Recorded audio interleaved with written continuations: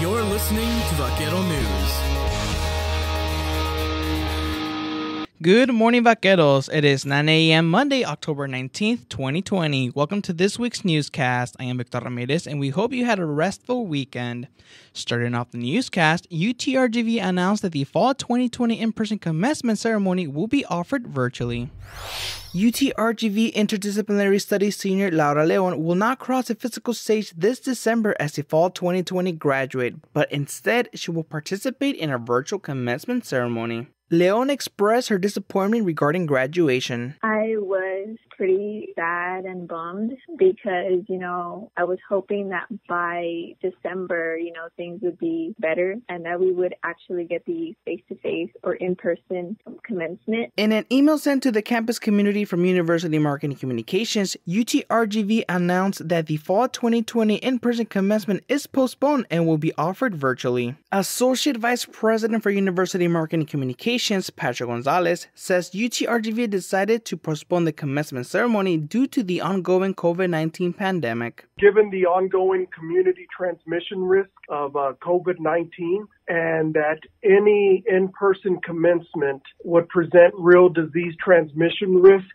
to our students and anyone else who attended, the university decided to postpone in person commencement again in the interest of uh, safety to our community. According to Gonzalez, UTRGV will have a traditional in person commencement ceremonies for the both spring and fall 2020 graduates, but it has not been decided when. Leon says she will return for an in person commencement ceremony for when UTRGV decides to host one. I don't care if it's a semester later, a year later, I will go back and, you know, experience what I missed when I was supposed to graduate. According to the email, the fall 2020 virtual commencement will be December 12. For questions or information about graduation, visit utrgv.edu forward slash commencement. This is Victor Ramirez for Vaquero News.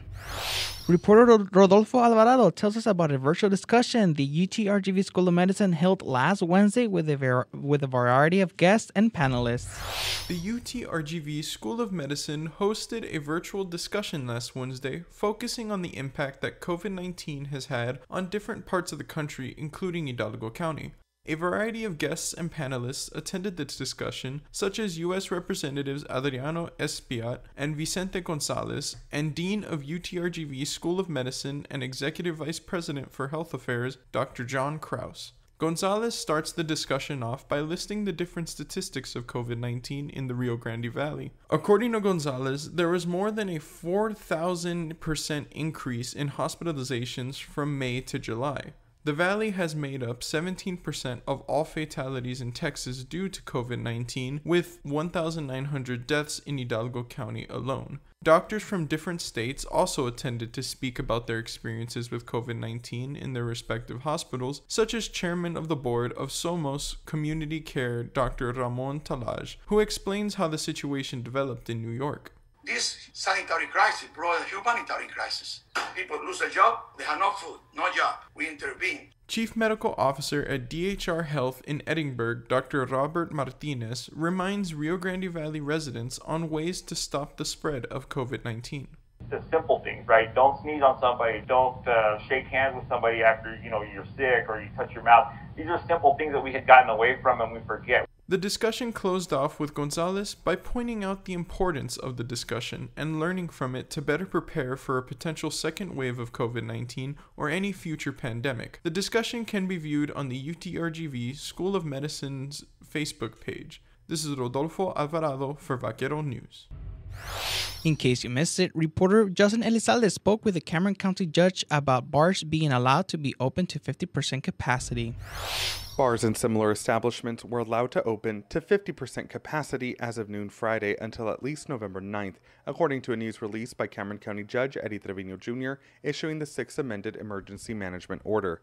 The amendment is a result of Governor Greg Abbott's Executive Order GA 32, issued on October 7th. The order allowed counties with low hospitalization rates to reopen bars to 50% capacity and businesses other than bars to 75% capacity as of this past Wednesday. The order also states that bars and businesses must enforce health protocols. In an interview with Vaquero Radio, Trevino said he was surprised at the details of the order, but wanted to get elected officials and health authority input prior to making a decision. That's why when people were asking if I was going, if we were going to opt in or opt out, and my response was, I don't know. We're going to review it and make as informed decision as we possibly can, collaborating with all of the uh, all of the other elected officials for their input, and obviously the health authorities. In a news conference on Friday, Trevino reminded businesses and citizens from Cameron County that the curfew of midnight is still in effect. Trevino responded to how the county would handle enforcement of the curfew. Law enforcement and uh, city inspectors will be able to enforce uh, the curfew with regards to any violation if they're if they're open late or staying open late. Trevino expressed his concerns with reopening, but added citizens adhered to Labor Day gathering restrictions and did not cause a surge, so he believes it can be repeated. People need to be very, very careful. We've asked them to modify their, their conduct and their daily behavior. They've been doing it. I know the great majority have, so uh, I'm counting on them to keep doing it. Vaquero Radio contacted Hidalgo County for a statement on reopening of bars, but was unsuccessful as of this broadcast. For Vaquero News, I'm Justin Elizalde. Justin Elizalde tells us about UREC hosting a virtual Zumbathon in observation of breast cancer awareness. The Zoom video conferencing platform has come to be a vital part of 2020.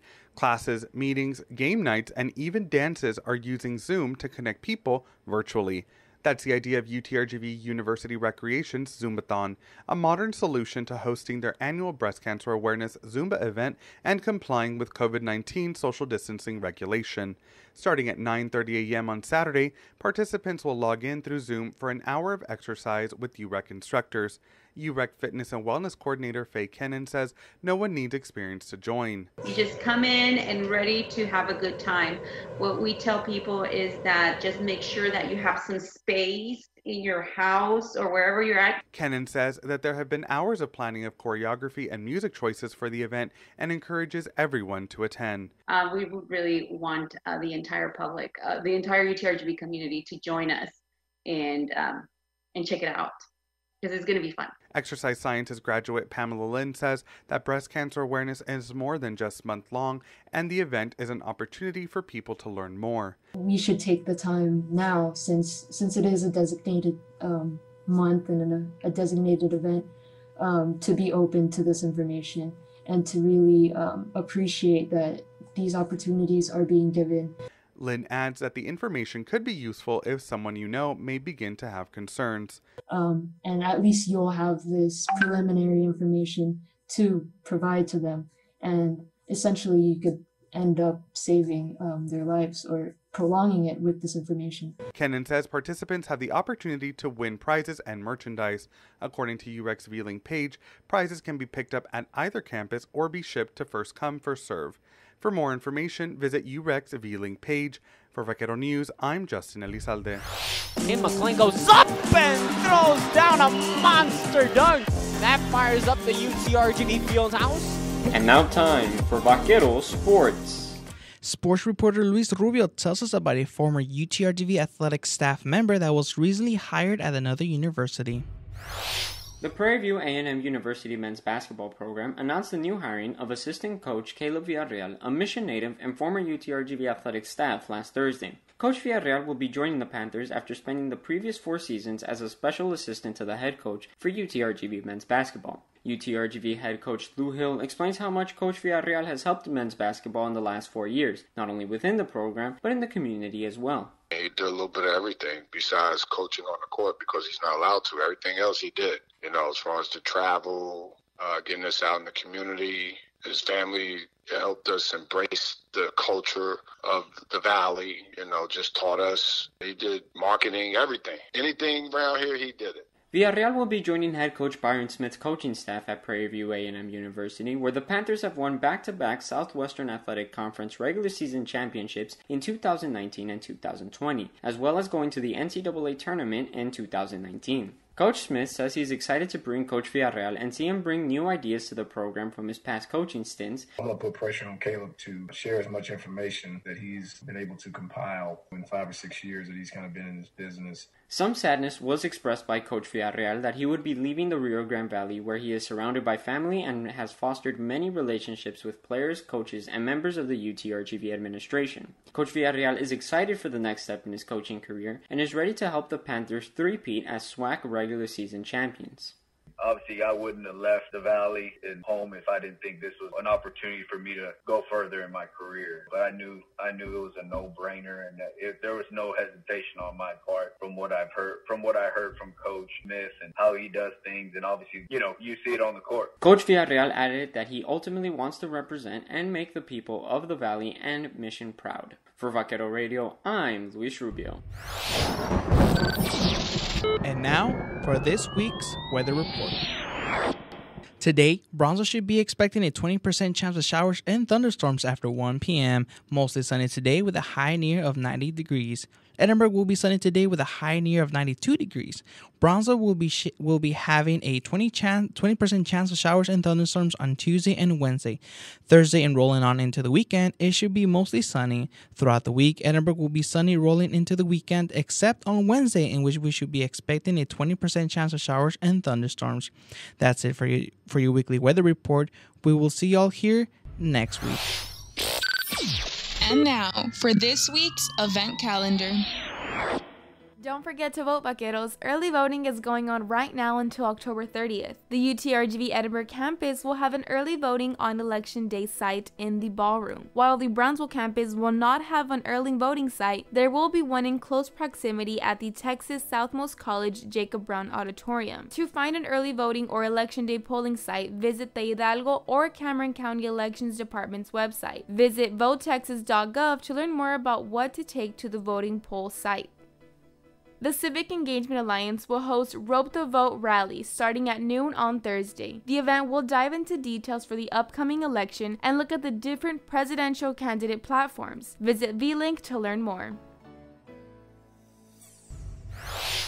And that's it for today's newscast. If you have any story ideas, send us an email to radio at utrgv.edu. Vaquero Radio is also mobile with the Radio FX app available for Android and Apple. Also, follow us on our social media platforms and visit our website for updates and much more. We will see you next Monday at 9 a.m. here on Vaquero Radio. This has been Vaquero News.